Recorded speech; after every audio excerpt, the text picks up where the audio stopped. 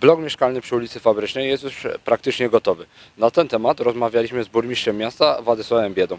Już na ukończeniu jest blok, przy czym tu musimy wiedzieć, że ten stan, jaki teraz jest y, na ukończeniu, to jest stan deweloperski.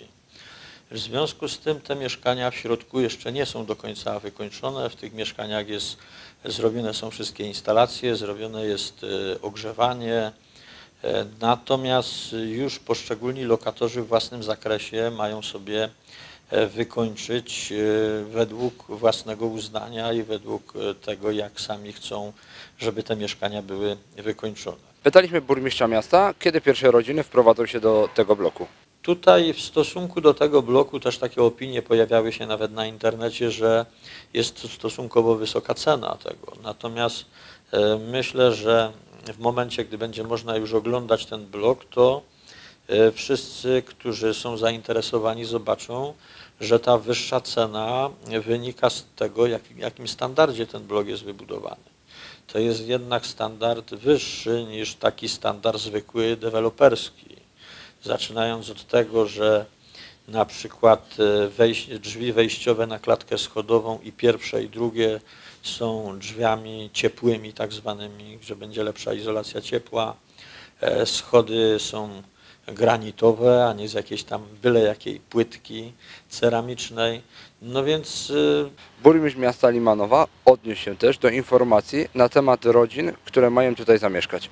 Myśmy ogłaszali przynajmniej trzykrotnie, ogłaszaliśmy e, nabór do tych mieszkań i ci, którzy byli chętni, podpisali umowy rezerwacyjne. Natomiast zostało tam jeszcze e, tych mieszkań trochę i w związku z tym miasto na dzień dzisiejszy podpisane ma umowy rezerwacyjne. Nie wykupiliśmy tych mieszkań, które były wolne, natomiast e, spisaliśmy z Miejskim Zakładem Gospodarki Komunalnej umowy rezerwacyjne i mając tą świadomość, że w momencie, gdy blok będzie wybudowany i będzie już można zobaczyć, jak to wszystko wygląda, to ogłosimy jeszcze kolejny nabór. Tak, żeby ci wszyscy, którzy będą zainteresowani, żeby jeszcze takie mieszkania mogli nabyć. E, Natomiast e, e, była taka konieczność, żeby te umowy rezerwacyjne spisać, chociażby z tego względu, że tutaj my jesteśmy, ten blok jest budowany przy współpracy z Polskim Funduszem Rozwoju e, i też takie, taki warunek był z Polskiego Funduszu Rozwoju, żeby w określonym czasie te umowy rezerwacyjne były spisane. E, No, jeżeli idzie o umowy rezerwacyjne, no to w przypadku takim, gdyby, gdyby nie było chętnych na te mieszkania, na które na dzień dzisiejszy, które na dzień dzisiejszy miasto zarezerwowało, no to wówczas będą to mieszkania nie socjalne, tylko mieszkania komunalne.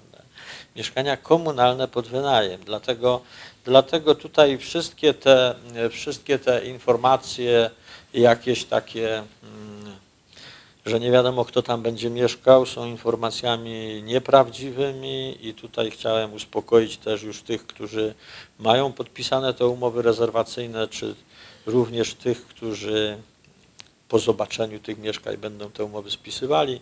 Nie muszą się obawiać, tam na pewno e, wszyscy ci lokatorzy, którzy docelowo w tych mieszkaniach będą, będą to osoby poważne, z którymi się będzie dobrze na pewno sąsiadować. Z ulicy Fabrycznej Paweł Grab, TV28.